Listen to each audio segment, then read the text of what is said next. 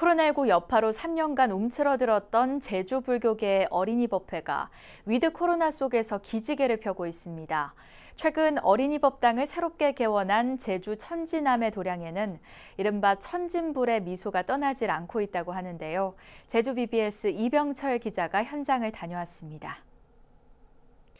고사리 손의 어린이들이 부처님 전에 마지를 올리고 목탁을 치면서 삼보에 귀의합니다.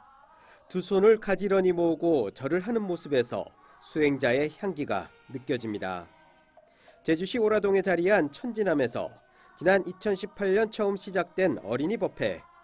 천지남 사부대중은 어려운 여건 속에서도 아이들을 사랑하는 마음으로 낡은 법당을 허물고 천진물들을 위한 나의 법당을 완공했습니다. 이제 비가 오거나 이렇게 장마철 되면은 또 바닥에 물이 고여가지고 아이들이 수업하는데 또 굉장히 힘들었었어요. 이제 어느 날 이제 저희 이제 선원장 스님께서 무조건 불사를 해야 된다 그런 생각을 가지고 이제 저희가 이제, 이제 불사를 시작했죠.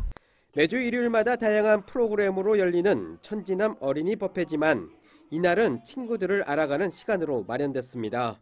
친구들의 얼굴을 그리고 이름을 알아맞히는 게임이 진행되자 아이들의 얼굴에서는 한박 웃음이 터집니다.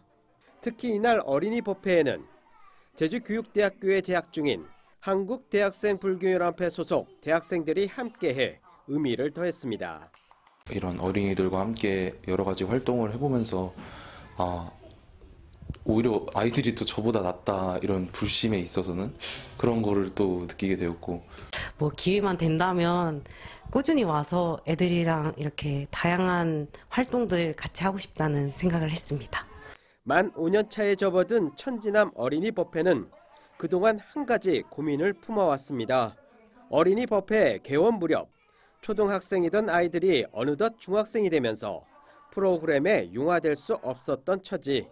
결국 어린이 법회 지도교사들이 해결책을 찾아 나선 것입니다. 초등학교 때 생각했던 고민거리와 지금 커가지고 중고등 사춘기에 접어들었을 때 고민거리가 좀 다를 것 같아요. 이렇게 어린이 법회처럼 매주가 아니라 한 달에 한 번 이렇게 정기적으로 날짜를 정해서 서로 고민 들어주기도 하고 아이들이 부처님 품 안에서 날개를 펼 수 있는 공간이 마련된 제주 천지남은 초등학생에 이은 중학생, 고등학생의 마음까지 헤아리는 제주의 대표적 천진불의 도량으로 거듭났습니다.